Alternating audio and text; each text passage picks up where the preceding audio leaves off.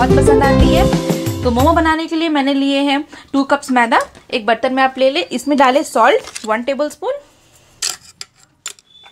अब इसमें जाएगा वन टेबल स्पून ऑयल हम इसे गूंद लेंगे, बिल्कुल बहुत ज़्यादा सॉफ्ट भी होना नहीं होना चाहिए, बहुत ज़्यादा स्टिफ भी नहीं होना चाहिए, हल्का पानी की मदद से इसे मैं गूंद लूँगी। ये देखिए गाइज़ हमारा मैदा गूंद गया है। इसमें मुझे को लगाने के लिए मुझे थ्री फोर्थ ग्लास ऑफ़ पानी लगी है। बस उससे ज़्यादा पानी नहीं लगी है। ये देखिए, बहुत ज़्यादा हार्ड भी नहीं है, बहुत ज़्यादा सॉफ्ट भी नहीं है। इसे हम ढककर पंद्रह मिनट के लिए रेस्ट के लिए रख देंगे। अपनी स्टफिंग की तैयारी करते हैं। इसके लिए मैंने पत्ता गोभी लिया है। ये पत्ता गोभी करीब पूरे एक पत्ता गोभी है। थोड़े से मैंने ग्रेट करके गाजर लिए हैं। और इसमें जाएँगे हरी मिर्च। थोड़े से लहसुन और प्याज चॉप किए हुए। मैंने कढ़ाई में टू टेबलस्पून ऑयल गरम कर लिया है। अब इसमें सबसे पहले हमारी लहसुन की कलियाँ जाएँगी। करीब टू टेबलस्पून लहसुन की कलियाँ हैं, चॉप किए हुए। साथ में जाएँगे हमारी ग्रीन चिलीज चॉप किए हुए। इसे वन मिनट तक फ्राई करना है। अब इसमें जाएँगे चॉप किए हुए अनियन मैंने टू छोटे छोटे अनियंस लिए हैं। इसे भी करीब वन मिनट तक सॉटे करूँगी। मैंने अनियन भी सॉटे कर लिया अब साथ में हमारे जाएँगे कैबेज ये भी बिल्कुल छोटे छोटे चॉप किए हैं मैंने। गाइज़ आप चाहो तो इसमें जिंजर भी यूज़ कर सकते हो। मैंने जिंजर यूज़ नहीं किया है। आप चाहो, आपको टेस्ट पसंद है जिंजर का तो आप यूज़ कर सकते हो।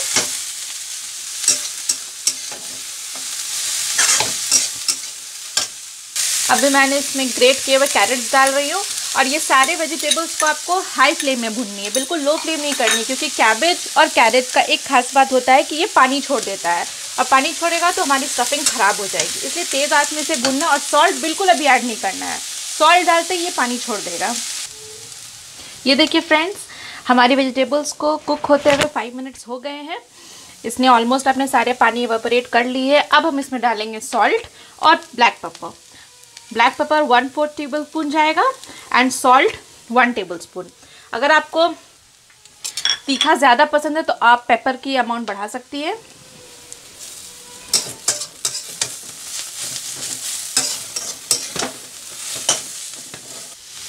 सॉल्ट एंड पेपर डालने के बाद मैंने वन मिनट और इससे सॉटे किया और हमारी स्टफिंग तैयार है, इसे हम एक बोल में निकाल लेंगे। हमारी स्टफिंग बिल्कुल रेडी है, इसे मैं ठंडा होने के लिए थोड़ी देर साइड रख लूँगी और अपने मैदे को मैं चेक कर लेती हूँ। ये देखिए, हमारा मैदा बिल्कुल आराम कर चुका अच्छी तरीके से। अब हम इसकी छोटी छोटी लोइयाँ बनाएँगे।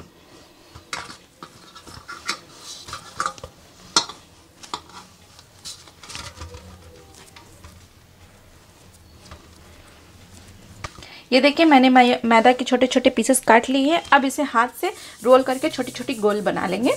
बिल्कुल इस तरह से मिला लेंगे। इस तरह सारे पेड़े तैयार कर लूँगी।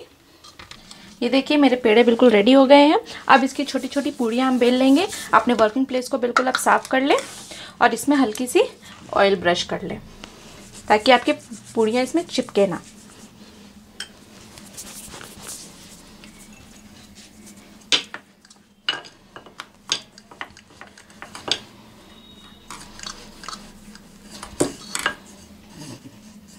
ये देखिए, मैंने एक पूरी बेल ली है।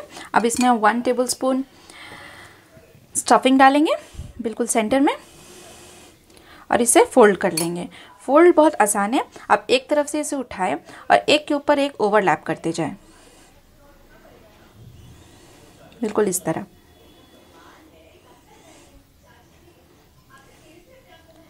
जब आपकी एक साइड की फोल्ड हो जाए, तब आप दूसरी तरफ़ को लाकर इससे मिला दें। ये देखिए।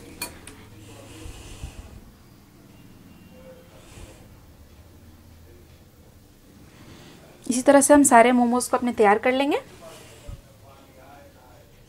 आज मैं आज मैं मोमो इडली स्टैंड में स्टीम करूँगी।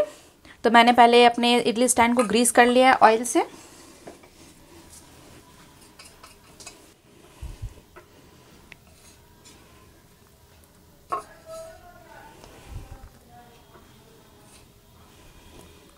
ये देखिए, मैंने स्टीमर ऑन कर लिया है, इसमें पानी गर्म बॉईल कर लिया है। अब मैं अपनी मोमोज इसमें डालूँगी। और इसे करीब फाइव मिनट्स तक स्टीम दूँगी। मोमोज को कुक होते हुए फाइव मिनट्स हो गए। इसे बहुत ज़्यादा कुक नहीं कीजिएगा, क्योंकि आपके मोमोज फिर हार्ड हो जाएँगे। ये देखिए, हमारे मोमोज हल्के से ट्रांसलूसेंट हो गए हैं। मतलब कि ये मोमो हो गए। अब इसे हम बाहर निकाल लेते हैं। हमारी मोमो तैयार है विथ मोमो चटनी।